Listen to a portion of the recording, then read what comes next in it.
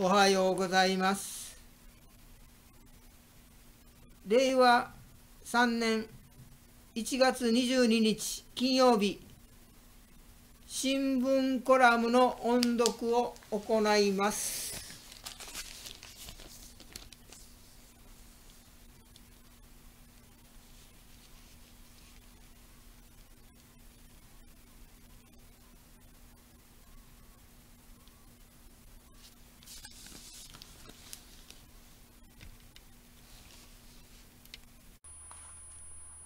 1月22日2021年新聞コラムの音読を行います。今日の三景名のタイトルは次のように決めました。大弾劾裁判3人目の大統領。トランプ氏。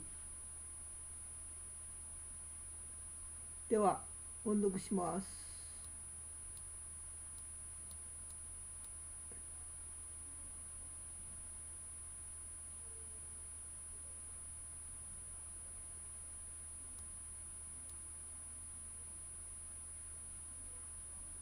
不倫を隠すため偽証などの罪でクリントン・ベイ大統領の罷免を求める。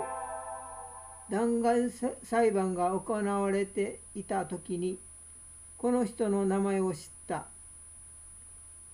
仕立て屋から政治家になった。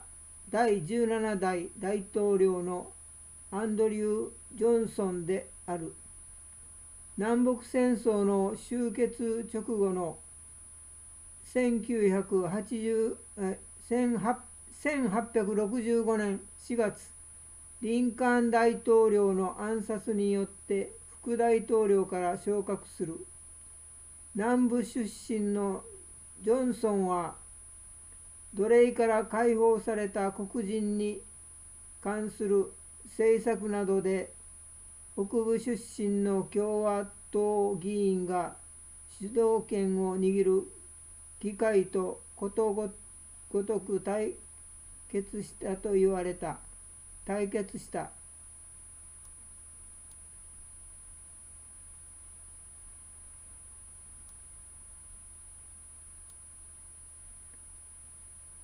ついには史上初めて弾劾裁判にかけられた大統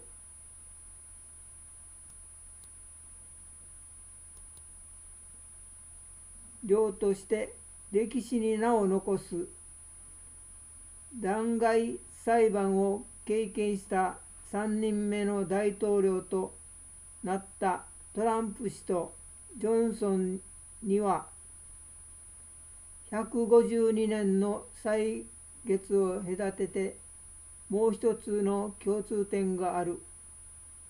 2人とも後任の大統領の就任式を欠席した。トランプ氏は首都ワシントン近郊の空軍基地で勝手に退任式を開いた。彼らは大きな成功をするだろう。それは土台を持っているからだ。バイデン新政権にエールを送りながら結局自分の実績の自画自賛に行き着くところがいかにもこの人らしい。再び戻ってくるというから引退する気はさらさらない。